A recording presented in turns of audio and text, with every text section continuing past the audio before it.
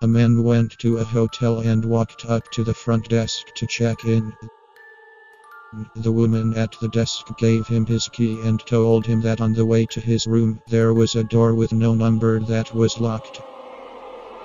No one was allowed in there, especially no one should look inside the room under any circumstances, so he followed the instructions of the woman at the front desk, going straight to his room and going to bed.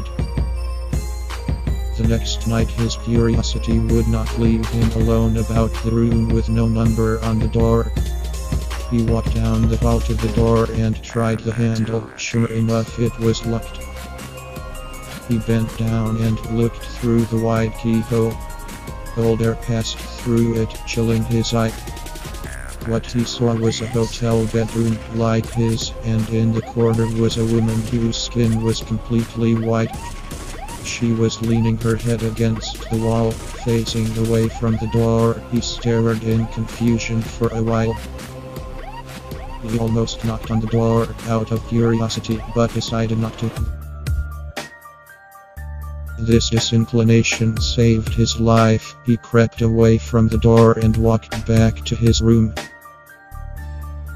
The next day, he returned to the door and looked through the wide keyhole. This time, all he saw was redness.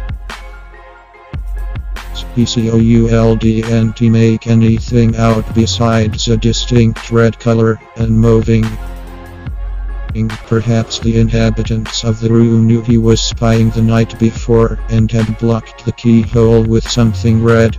At this point he decided to consult the woman at the front desk for more information. She sighed and said, Did you look through the keyhole?